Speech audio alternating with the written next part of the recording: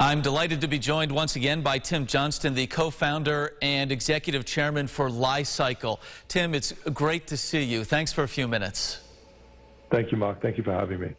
So the first question is bringing our viewers up to speed. Remind them what Li-Cycle is doing on a daily basis and what your presence is here in our area in Rochester. Yeah, absolutely. So we are a recycling company. We focus on lithium-ion batteries.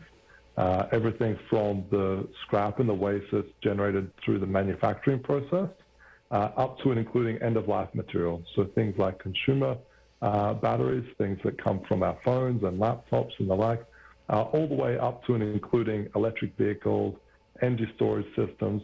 We take all that material in, we process it through our Spoke and Hub network, we process it into intermediate products uh, through our Spoke network across North America and now growing uh, around the globe uh, to produce these intermediate materials, which are ultimately coming back to Rochester. And uh, in terms of what are we doing in Rochester? Well, we've been in Rochester, as you know now, for, for a couple of years with our first North American US-based spoke facility. And now we're building the refinery. That's the next step. It's the hub part of the process where we're taking those intermediate materials and we're turning them back into the chemicals, the materials that go back into the battery supply chain. So it's the, it's the cog will ultimately bring all these pieces together. That spoke facility you referenced is at Eastman Business Park. The hub facility, is that going to be at the same location or elsewhere? It's very close. So it's all part of the old Eastman uh, Business Kodak Park. Uh, and so we're just about one mile uh, to the south of the spoke facility. Why do you continue to grow in Rochester? What is, what is it about our community that's been such a good fit for Li-Cycle?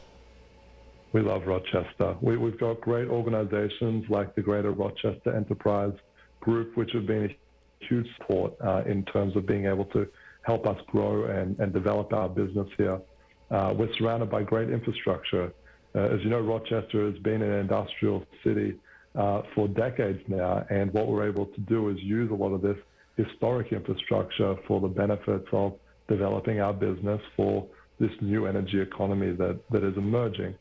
Second, you're supplied by great people. We have a great resource pool uh, here in the Rochester region. Uh, we love all of our employees at the current spoke facility. We're starting to bring people in now for, for the hub process.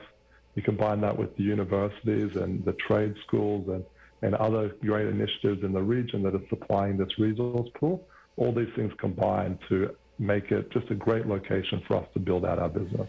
Well, it's a, a, a, success story to say the least, and a continuing success story as you now build out this hub. We're excited about that and grateful for the update. Tim, thank you for the time.